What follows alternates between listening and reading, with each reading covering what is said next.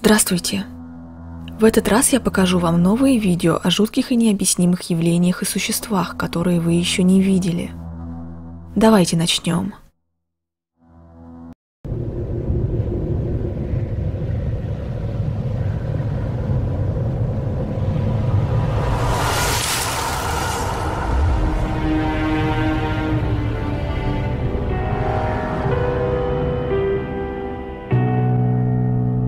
Инстаграма недавно снял на камеру очень странные события.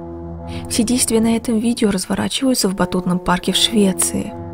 Оно снято с экрана мониторов. В каждом помещении расположены камеры видеонаблюдения, чтобы следить за безопасностью. Но несколько недель назад, когда батутный парк закрылся на ночь, сигнализация сама по себе включилась без каких-либо на то причин. Сотрудники решили проверить камеры, и то, что они обнаружили, повергло их в шок – Vad försvinner färgen för? Men, skämtar du eller?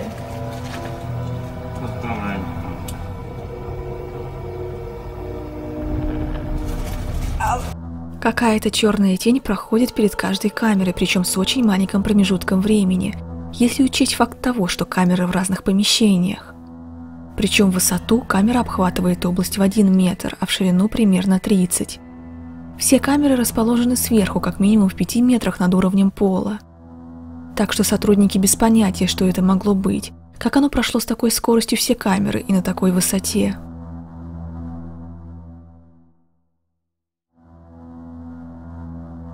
В интернете есть целое сообщество людей, которые следят за историей этого жуткого паранормального дома – по слухам, это самый густонаселенный призраками дом в округе. Это здание имеет достаточно проблемное и темное прошлое, которое может удивить. Например, это место служило местом сбора преступных группировок. Потом здесь сделали казино. А после всего этого в доме находилась больница более 50 лет. И по местным слухам в этом доме обитает как минимум 9 призраков погибших там людей. Это случилось поздней осенью – Одной ночью несколько друзей семей, которые очень интересовались этим домом, решили в шутку начать исследовать его на наличие сверхъестественных вещей. Более того, большинство из них и так были уверены, что в этом доме происходят мистические вещи. Но они все-таки захотели иметь доказательства на руках, чтобы их словам верили. А вот еще одна предполагаемая теория про этот дом. В прошлом это здание также принадлежало одной семье – и сейчас некоторые думают, что именно озлобленные души этих владельцев обитают в доме. Это была семья доктора Егера. И одна девушка, которая тоже решила поучаствовать в эксперименте и приехала в этот дом, легла на кровать в ту комнату, где раньше была спальня этого самого доктора. И начала шутить с издевкой про него и его семью. И вот что произошло дальше.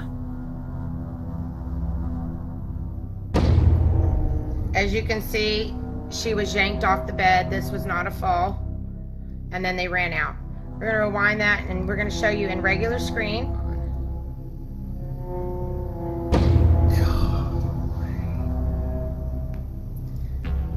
Все выглядит так, как будто кто-то невидимый с яростью схватил эту девушку и стянул с кровати.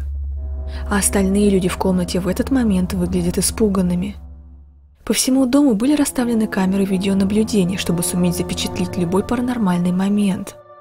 И на камеру попал момент с этой девушкой. Все потом с ужасом убежали оттуда. Кто-то даже уронил телефон на пол и еще долго не возвращался за ним. А вот что случилось немного позже, около трех часов утра в этой же комнате. Один из тех, кто пришел, решил связаться с духами – он планировал обойти каждую комнату в надежде увидеть нечто необъяснимое, и начал он именно с комнаты доктора Егера. Look at the guy in the white hat right here, guys. Follow him. Before I even finish my sentence, I'm in the air.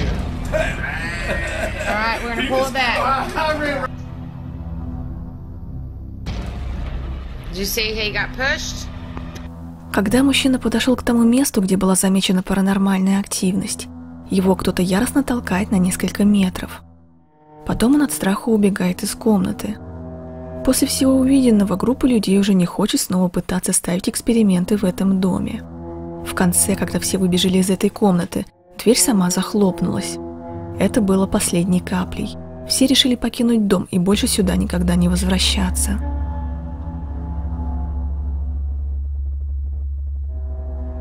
На сегодня вот и все.